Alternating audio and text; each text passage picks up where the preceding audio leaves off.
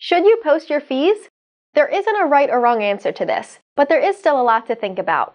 I'm Rachel from the Therapy Notes Success Team, and today we're going to discuss whether you should list your fees on your practice website, as shared with us by licensed clinical social worker and owner of Abundance Practice Building, Allison Puryear. If you find this video helpful, go ahead and click the subscribe button to see more videos from Therapy Notes. Some providers prefer having the chance to connect with a client over the phone to show their value before the client considers how much their services cost.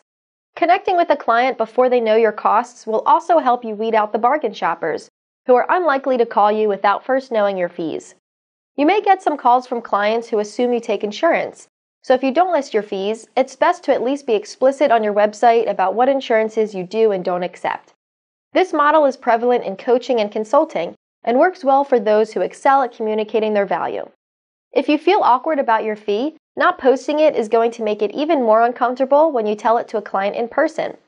If you're worried about it, you should list your fees on your website to provide more context for potential clients who may expect a lower number. In contrast, some providers feel that you should be confident in the services you provide and you shouldn't have to convince your clients to work with you.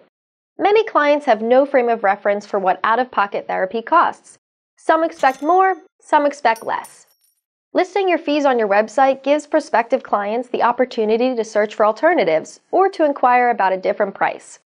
Most of our ideal clients want therapy and are willing to invest their time, energy, and money.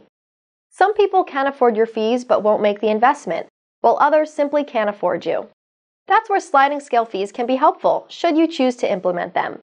For these types of people, it's best not to waste their time or yours with a phone call. Overall, you need to consider who your ideal client is and which route is most appropriate and beneficial for both of you. Whatever you choose, the important thing is to be clear and honest with whatever information you choose to disclose on your website. Do you have any additional tips from your experience? Let us know in the comments. We hope you found this video helpful. To keep up with our latest content and videos, subscribe to our YouTube channel, like us on Facebook, and follow us on Instagram. Thanks for watching!